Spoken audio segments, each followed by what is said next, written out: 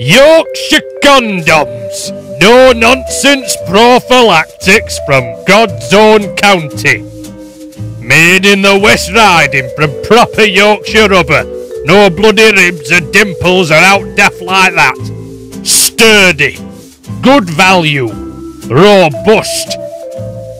I never go to the crease without a Yorkshire condom on me, John Thomas. Sir Geoffrey Boycott, OBE. He, by gum, this sheath's a proper champion. Mr. B. Bridlington. Keeps the tattoo attitude at a treat. Mr. S. Barnsley. Why not add a bit of spice to your love life with our flavoured varieties? Tripe and vinegar, Yorkshire pudding, and parkin.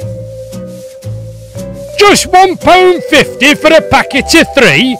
Buy a how much?